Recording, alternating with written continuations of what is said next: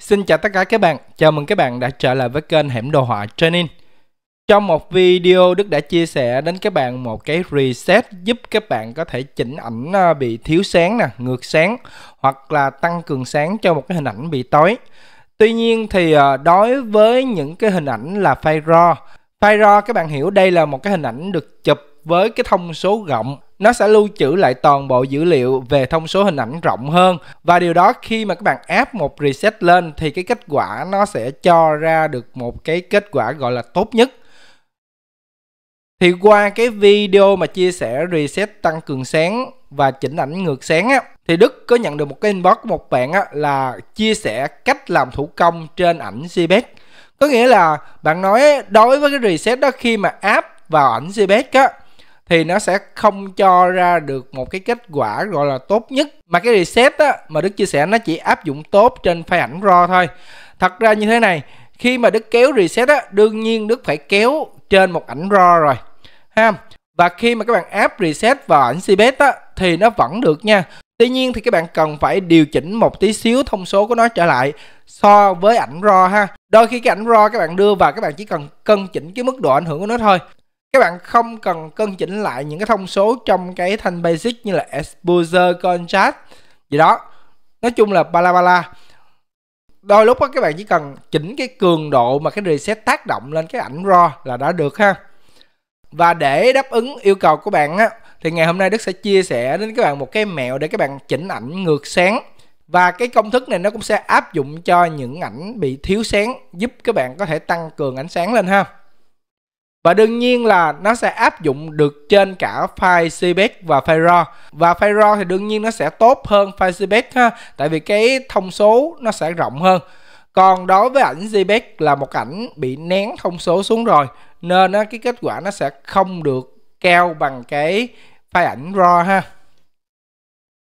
Rồi, ở đây Đức có một cái stop hình ảnh như thế này ha. Thì đây là một hình ảnh, các bạn có thể thấy đây là không phải là ảnh thiếu sáng nha, mà đây là một trường hợp ảnh bị ngược sáng, ha. Các bạn thấy nè, đáng lý ra cái vùng mặt nè, nó phải là cái vùng sáng, ha. Nhưng mà do ánh sáng nó bị hắt ngược á, làm gương mặt bị tối và xung quanh nó lại sáng hơn. Thì cái công thức này các bạn cũng có thể áp dụng cho trường hợp mà các bạn tăng cường sáng cho hình ảnh ha, hoặc là chỉnh ảnh bị tối cũng được ha và lưu ý đây là Đức đang thực hiện trên ảnh CPEX nha, hoàn toàn là Đức thực hiện trên ảnh CPEX theo yêu cầu của bạn ấy ha. Rồi đối với cái hình ảnh như thế này thì đầu tiên các bạn sẽ tạo vùng chọn cho những cái vùng sáng trên ảnh ha. Thì các bạn sẽ tổ hợp phím là Ctrl Alt cộng phím số 3. Các bạn lưu ý ha, tổ hợp ba phím Ctrl Alt cộng với phím số 3 nha. Khi mà các bạn tổ hợp ba phím này thì những cái vùng nào là vùng sáng trên ảnh á, nó sẽ lót một cái vùng chọn như thế này. Là cái vùng chạy chạy là vùng kiến bò đó. Thì á, bây giờ các bạn đang cần chỉnh cái vùng tối nó sáng lên. Nhưng mà bây giờ nó đang chọn vào những cái vùng sáng. Thì bắt buộc á, các bạn phải nghịch đảo cái vùng chọn lại.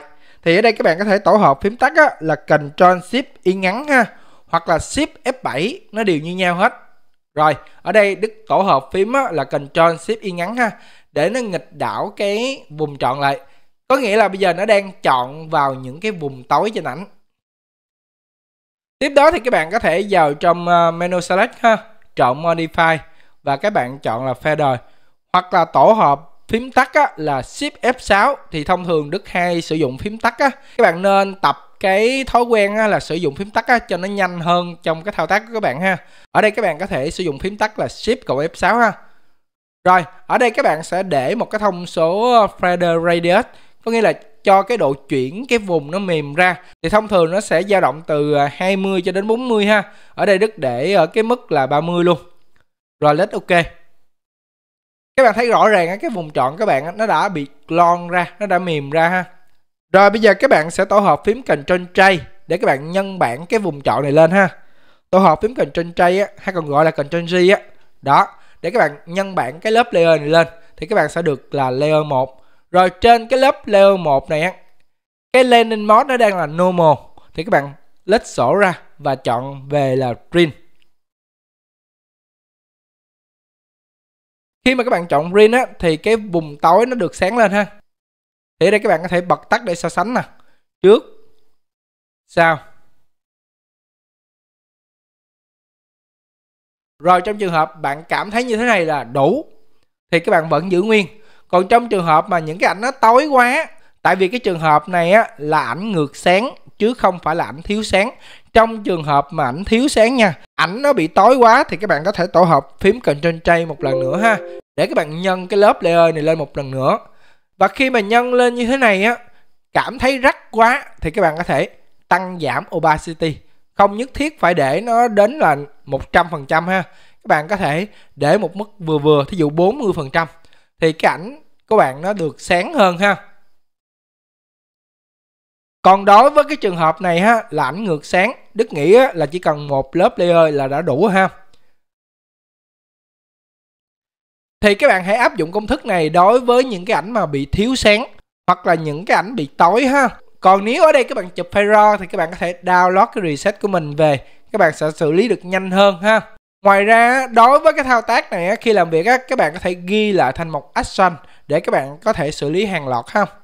Thật sự một điều ở đây đức muốn nói các bạn không cần phải ờ, áp dụng những cái panel mà gọi là xử lý hàng loạt đâu.